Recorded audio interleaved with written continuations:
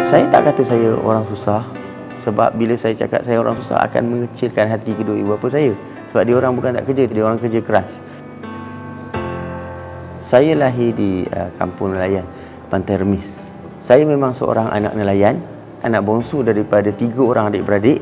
Jadi uh, cuma memang cara saya saya tak selesa dengan cara yang sama saja.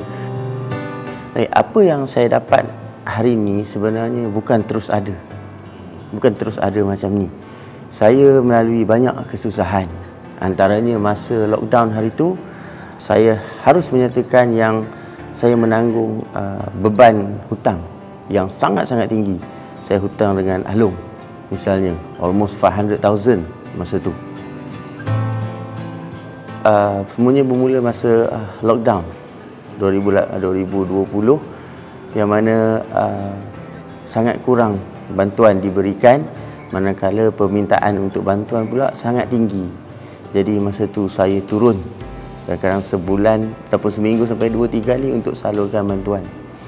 Dan saya rasa dah tiba masanya sebenarnya ahli politik perlu diambil dari kalangan yang bukan ahli politik supaya dia lebih dekat dengan rakyat.